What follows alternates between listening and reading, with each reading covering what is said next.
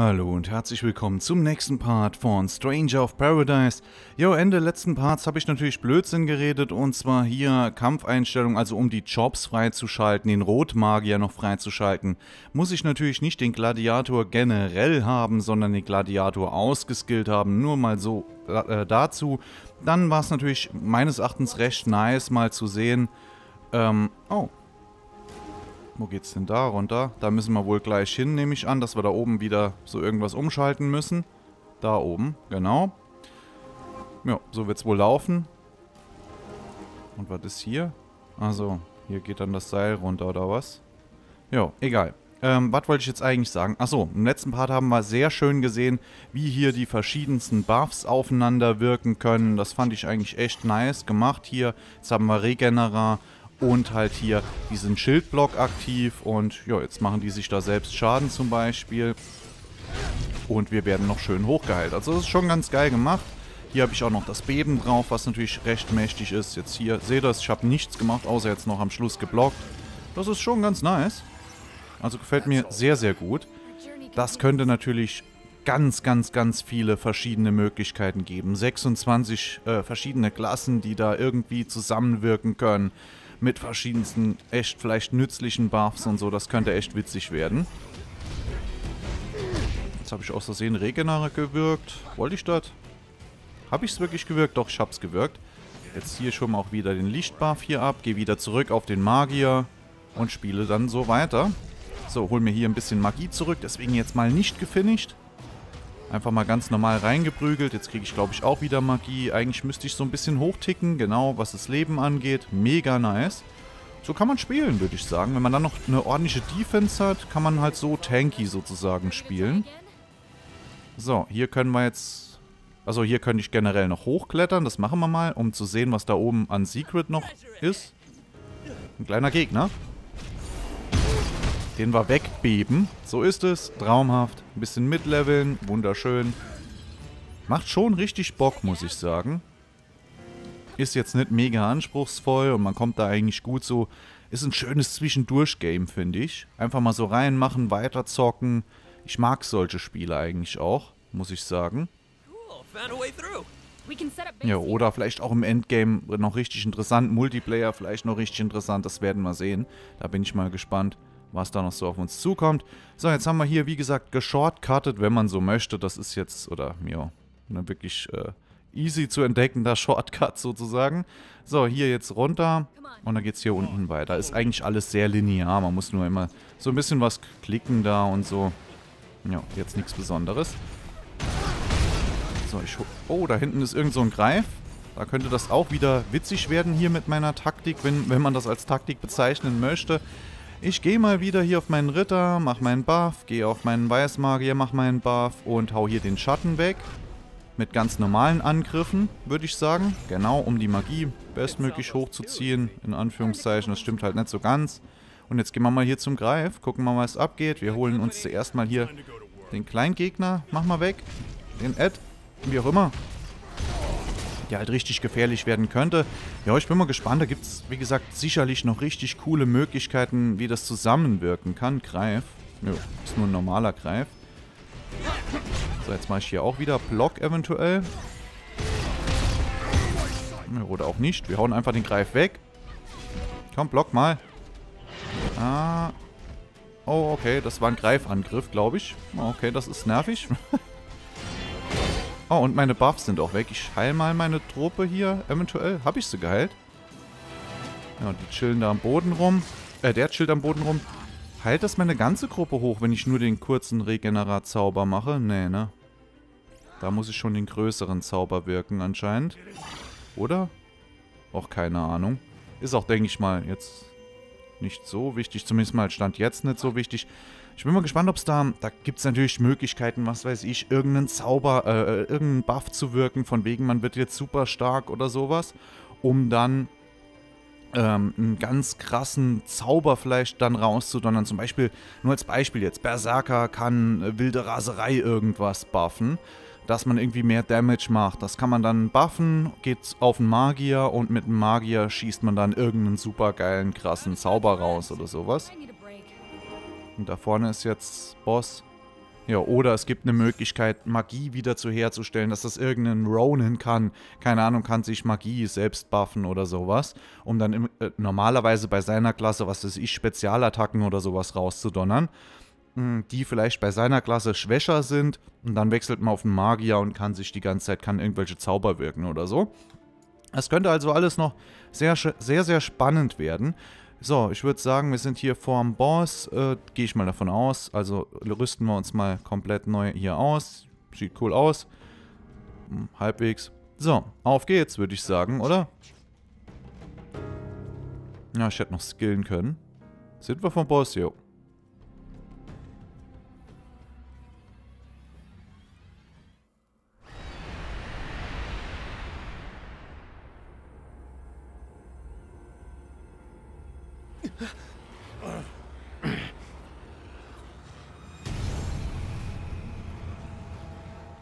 Zwei Bosse. Uncool.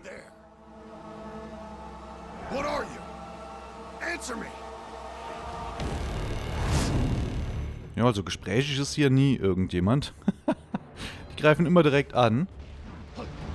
Elementarkern. Hm. Ich würde sagen, wir buffen uns hier mal. So, der ist ein bisschen angeschlagen. So, Buff ist aber auf mir drauf, glaube ich. Ne, mein Buff ist weg. Okay, ich heile mich trotzdem mal hier so. So, hier Aqua irgendwas. Kann er machen. Jo, wir gehen einfach mal voll drauf, würde ich sagen. Hm, ja, mein Zauber wirkt ja noch. Hier, Regenera, super stark. Was weiß ich, auf alle vielleicht. Mehr, ja genau, jetzt werden wir besser hochgeheilt. Das ist halt schon ganz geil. Hier mit dem Heilen kann man schon ein bisschen was machen. Hm, aber auch wirklich nur ein bisschen was. So, der ist weg vom Fenster. Und jetzt? Was heißt das? Jetzt können wir hier Damage machen, oder was? Oh, die Haltung dann weiter. Oh, das hat dem schönen Haltungsschaden gemacht. Das heißt, wir müssen gucken, dass wir die Dinger da wegbekommen. Ich heile mich mal einmal. Sind wahrscheinlich auch gegen Zauber massiv anfällig. Das könnte ich natürlich jetzt auch machen. Oh, das ist nicht gut. Jo, so, hier nochmal mein Zauberbuff da, Regenera. Gehen wir mal zum Ritter rüber, kann ich noch blocken und, ja genau, kann denen noch Anweisungen geben, sie sollen da super krass draufgehen. Und wenn wir einen dieser Typen wegmachen, dann fällt die Kugel zu Boden, oder was? Genau, und dann können wir der Kugel Haltungsschaden machen und dann können wir ihr einen Lebenspunkt wegholen. Oder einen Lebenskern wegholen. Wir haben noch sechs Heiltränke. Wenn ich das jetzt nicht komplett verchecke... Oh, was ist das denn? Ist jetzt uncool. Jo, machen wir wieder unseren Regeneratzauber. Ich buff die Leute. Hol hier Gnade des Lichts. Wunderschön. Müsste auch auf alle wirken. Das wäre auch mega geil. So, geh wieder zurück auf meinen Streitkolbentypen und geh da mal ran, oder? Und kann da Beben machen und so. Sehr schöner Block, der eigentlich bei ihm auch Schaden anrichten müsste. Es ist vielleicht echt mal geil zu sehen. Oh, ouch, jetzt komm, jetzt nicht sinnloses Risiko gehen. So, geht wieder ran, Jungs. Jo, jetzt haben wir ihn sozusagen... Jetzt habe ich hier ein bisschen tanky gespielt, wenn man so möchte. Sturmbändiger, yay. Also ich denke, hier kann man sehr viel mit irgendwelchen elementaren Zaubern machen und so. So, könnte natürlich etliche... Also, ne, kann ich nicht. Ich habe keine Magie. Jetzt aber. Könnte ich, oder? Ne, kann ich nicht. Ich heile mich besser mal. Ja, den können wir halt so tanky runterspielen, würde ich sagen. Dürfte eigentlich kein Problem sein. Nein! Komm, jetzt nicht noch sinnloses Risiko gehen, deswegen heile ich mich wieder. Alter, hallo. Macht was, Jungs. ich hab euch nicht grundlos dabei. Regenerar, genau. Sehr schön. Das war's doch, oder? Noch nicht? Ah, ich muss die Haltung dreschen noch oder sowas. Alles klar, Tschüssikowski. Easy.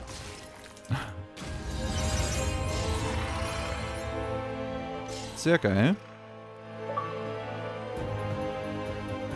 Spross der Finsternis. Verzerrung der Natur haben wir abgeschlossen. Ich bin begeistert. Ich trinke mal einen Kaffee. That's all? Hm?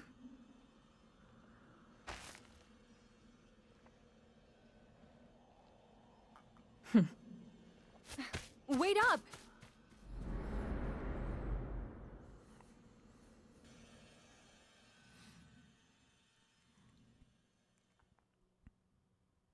Auf geht's zum Weißen Turm, zum Eisturm, wie auch immer.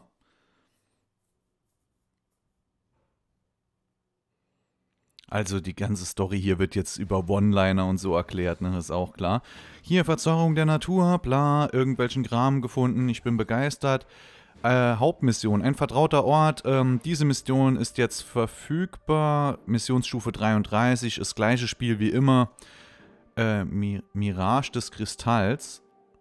Äh, was ist das hier? Auenwald der Verzauberung. Achso, klar. Dort haben wir noch die Nebenquest. Jetzt hier. Silberplatte und Silberinsignium dann auch. Und Schmiedekunst 1. Was ist das denn? Was ist Schmiedekunst 1? Hier hätte ich ja nur... Schmiedekunst 1. Gut, das würde mich jetzt doch interessieren, was diese Nebenquest hier bewirkt. Ich würde sagen, wir machen die Nebenquest hier. Ich habe ja gesagt, sie interessieren mich nur am Rande, aber Schmiedekunst 1 könnte wichtig werden. Apropos Schmiedekunst, da gehen wir doch direkt mal hin. Und zwar ähm, hier zum Schmied und werden mal ein bisschen was auseinandernehmen, dass unser Inventar nicht zumüllt. Gehen wir einfach mal hier auf die Schwerter und alles, was da unten so rumfleucht, das werden wir auseinandernehmen. Alles, was keine hohen Werte hat, hole ich da mal auseinander. Wie kann ich das nicht nach neu? Ausrüstungsstufe, genau. Das wollen wir haben. Alles. Äh, und dann kann ich das doch auch irgendwie noch markieren oder sowas. Ging das nicht? Doch, hier so. So, kann man dann auswählen, rübergehen und dann alles, was unter 20 ist, geht dann jetzt mal weg, wird zerstört, wie auch immer. Das brauchen wir nicht, das brauchen wir wahrscheinlich nie wieder, also ist logisch. So. So, hauen wir den ganzen Krempel hier mal weg, die ganzen Waffen, die wir da haben. So, weg damit. Hat er jetzt auch wirklich von den anderen... Nee. Ach, ich muss in dem Slot bleiben, oder was? Ernsthaft jetzt? Ja. Oh. Okay. Ich hole uns jetzt nur ein paar Plätze mal rein. Das mache ich nochmal off-Camera. So irgendwo, wo ich jetzt viele Dinge habe. Hier zum Beispiel nochmal. Machen wir auch mal weg. Ich habe hier noch etliche Plätze frei, also es spielt ja keine Rolle. Gut, hier ist es ausrüstungsstufemäßig aussortiert, dann wäre es eigentlich sogar sinnvoller, das hier zu machen. So, da haben wir nämlich alle Waffen, die irgendwie eine super schwache Ausrüstungsstufe haben, können wir direkt hier weghauen. So, Tschüssikowski und haben wieder einiges an Platz. So, aber was Schmiedekunst 1 ist, interessiert mich jetzt doch. Also machen wir das mal.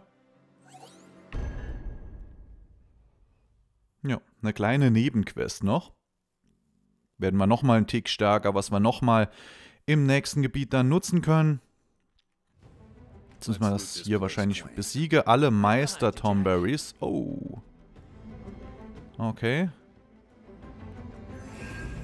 Die sollen, glaube ich, auch recht stark sein. Jetzt müssen wir die Dinge halt suchen. Ich hoffe nicht, dass es hier wieder über diese Wettereffekte jetzt funktioniert und dass wir da ewig rumsuchen müssen. Sondern dass wir die einfach weghauen und dann diese Schmiedekunst 1 da freischalten, was auch immer das bedeutet. Vielleicht können wir dann irgendwelche Upgrades weiter hochziehen. Das könnte dann schon wichtig werden. So, tschüss. You look almost disappointed, Jack. Let's go. Be ready for anything. So, hauen wir hier mal alle weg. Sehr schön. Und da Ultraschall ich dich doch weg. Sehr schön.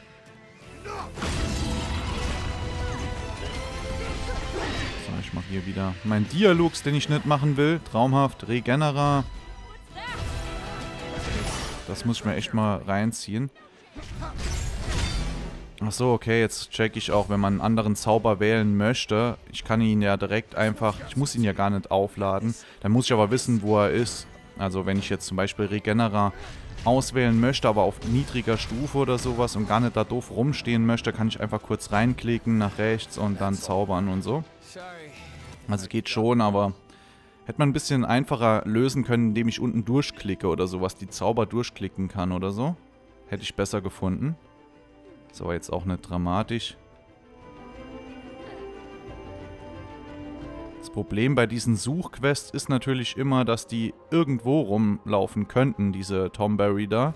Und die waren ja auch recht stark. Da bin ich also mal gespannt. Oh, äh, Muss ich hier das Wetter ändern? Das konnte ich ja nur hier an der Stelle, oder? Nee, achso, ach, jetzt muss ich mich echt wieder durcharbeiten, oder was? Hier hoch, ne? Da war das.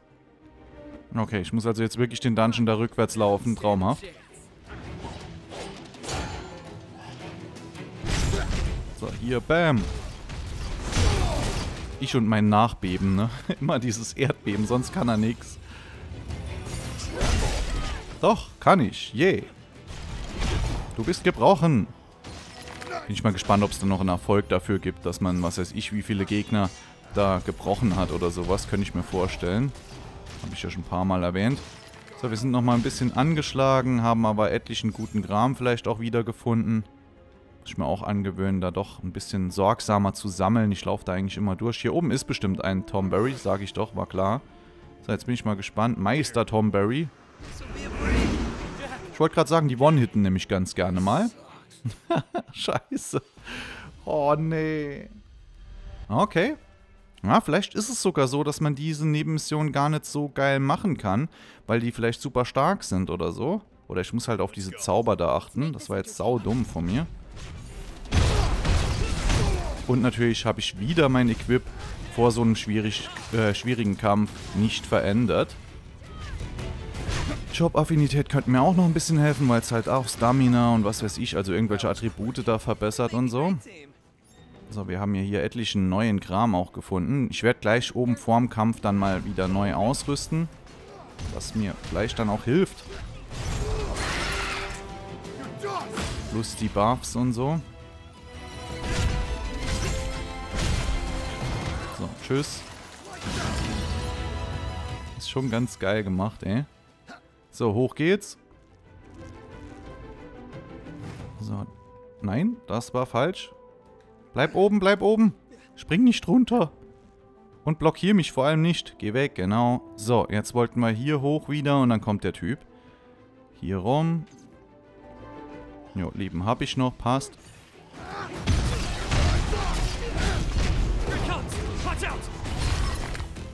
Ja, bin ich echt mal gespannt, was wir da noch für Taktiken machen können. Ja, ich weiß halt jetzt auch nicht, ob es wirklich so sinnvoll war. Ich hätte eigentlich die Nebenquest einfach auch später machen können. Das wäre vielleicht auch sinnvoll gewesen. Ich glaube, die, die Hauptquests sind äh, stellenweise sogar, ja, nicht einfacher, will ich gar nicht sagen. Aber ich mühe mir jetzt hier halt einen ab. Eventuell schaffe ich diese Viecher da nicht. Und wenn ich das eine Runde später machen würde, wäre es ganz easy. Waffenfertigkeiten.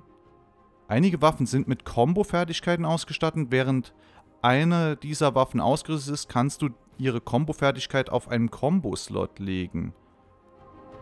Aha. Ah, das ist natürlich geil. Und was soll das jetzt sein? Was für eine Waffe? Die hier, oder was? Hat die sowas? Ne, die hat doch nicht sowas. Aber vielleicht der Ritter. Auch nicht. Ah, hier. Ah, doch, hier. Rapid-Nageln. Äh, Nadeln. Ja, da kann man halt so eine Fertigkeit dann nochmal auswählen. Ist, denke ich mal, jetzt auch noch relativ uninteressant, würde ich mal tippen, oder? Kann ich eigentlich von hier aus... Nein, irgendwas zerstören kann ich hier nicht. Jo, gut, egal. Gehen wir raus. Die sind super equipped, alles ist traumhaft. Ich muss mir die Werte hier auch mal merken, wie die sind, aber ja, wird schon irgendwie passen. So, ich heile mich mal, hol mir hier meinen Buff, äh, gehe rüber zum Magier, hol mir dort meinen Buff und schaue mal, ob wir ihn jetzt da irgendwie schaffen können. Ich habe jetzt halt nichts an Fernkampf, jetzt macht er nochmal seinen doofen Zauber. Oder man muss gucken, dass wir ihn vielleicht direkt... Nee. Na, okay. Ich wollte gerade sagen, dass man ihn direkt mit Zauber da... Boah, Alter, macht der Schaden. Okay.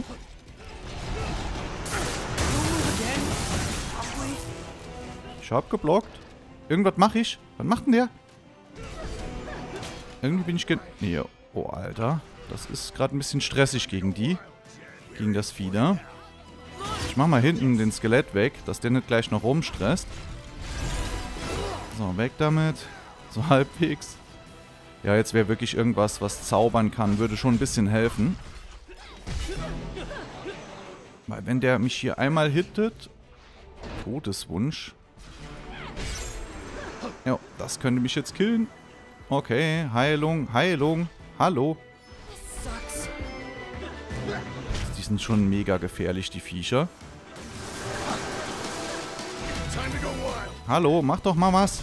Jungs, ich habe euch doch nicht grundlos dabei. Oh, Alter, das war knapp, wollte ich gerade sagen. So, einen haben wir besiegt. Heftig. Sehr, sehr knapp und ziemlich cheesy und ziemlich schlecht haben wir es geschafft. Aber egal. So, eventuell äh, habe ich ja nochmal besseres Equip jetzt gefunden, aber die sind schon heftig, die Viecher. Die sind wirklich heftig. So, jetzt haben wir hier ein Secret freigeschaltet, beziehungsweise können jetzt weiter. Wo konnten wir jetzt weiter? Hier unten nicht mehr, hier oben, ne? Oder so. Da wollten wir auch weiter. Genau, hier rüber.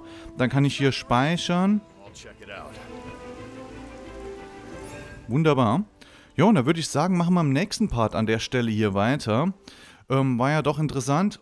Und ähm, ja, bin ich gespannt, ob wir die Meister Tomberries, ob wir die hier schlagen. Also ich denke, mit Fernkampf kann man die gut einheizen und so. Da geht da schon einiges, ihr habt es ja gesehen.